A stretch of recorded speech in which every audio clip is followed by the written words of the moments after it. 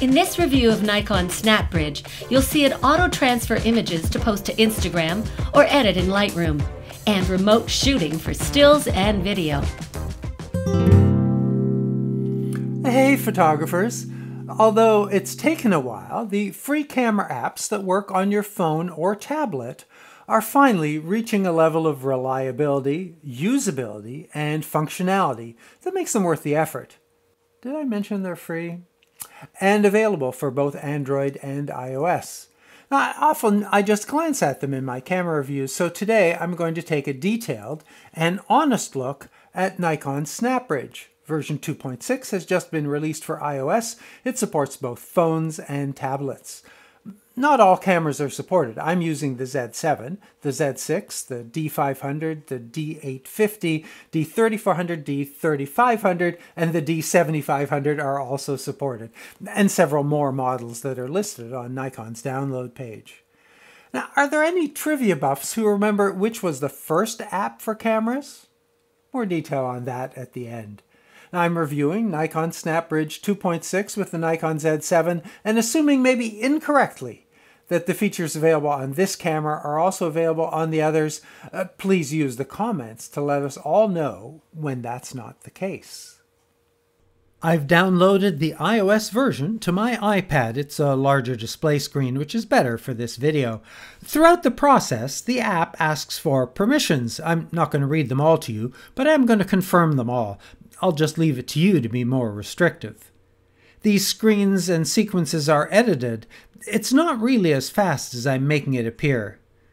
After the welcome screens, choose the style and camera from the menu.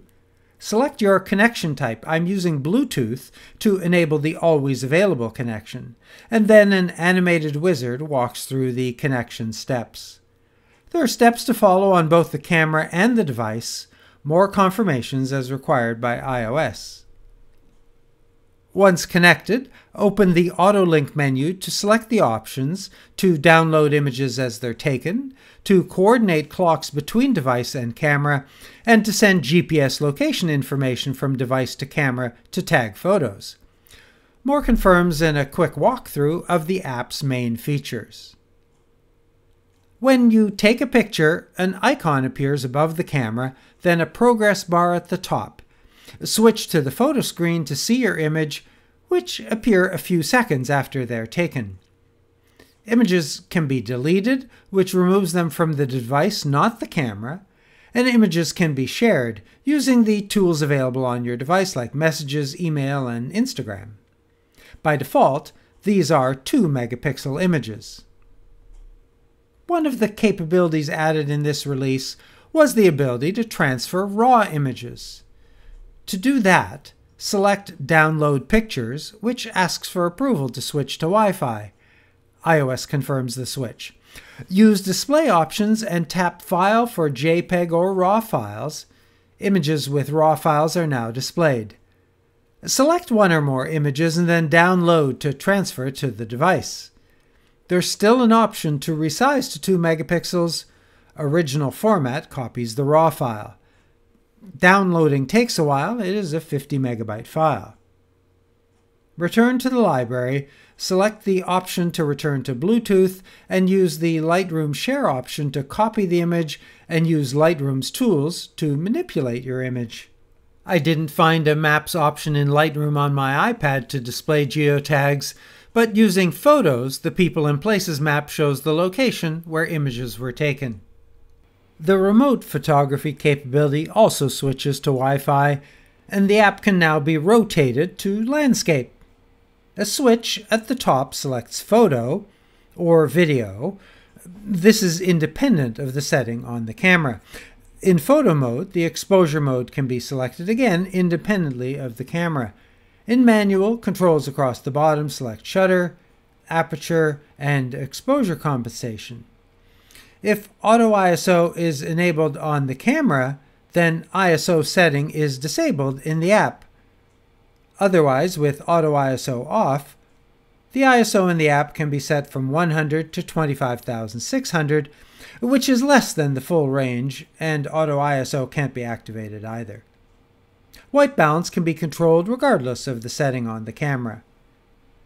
You can't select the meter mode, a picture control color profile, or change the drive mode to burst, but the settings menu can activate a 3, 5, or 10 second timer. The focus settings, neither mode nor area, can be changed in the app. With the camera in AF single, with single point, pinpoint, or wide area, the focus spot can be set using touch on the screen. There is a slight delay between pressing the shutter button and taking the photo, and then the image is transferred to the app. When the camera is in manual focus mode, you can't focus with the app. When I switch to video, first, any white balance setting is overridden to auto, and now there are no exposure or focus controls. The app records at the current video settings. This is 4K 30, although there's no indication on screen. The data rate for this recording is about 120 megabits. I've set the Z7 to manual exposure mode, as shutter and ISO controls are not available in the other video exposure modes. And for focus, I'm using full-time autofocus with auto area, that enables face detect. The square shows that it's working. Uh, while I'm finding video mode useful, and I did use it for my on-camera scenes in this video, I do have to configure all of the settings on the camera before switching to remote, and the refresh rate on the remote display varies. Although the app offers the ability to transfer videos from the camera to the device, that's not a capability I'd recommend unless the recordings are short and at a lower resolution than 4K. For example, a normal quality HD 30 version of this segment, about 73 seconds, took over 2 minutes to transfer, longer than real time. The third menu icon opens Image Space, Nikon's free online photo site where you can store an unlimited number of 2 megapixel thumbnail images. This is a second independent app, but settings here control auto upload to ImageSpace and set images to upload only when using Wi Fi. In this case, that's not the camera's ad hoc Wi Fi, but a network that has access to the internet. It is easy to create trivia questions, but harder to find the answers. I did some research but didn't find a conclusive answer to determine who was first.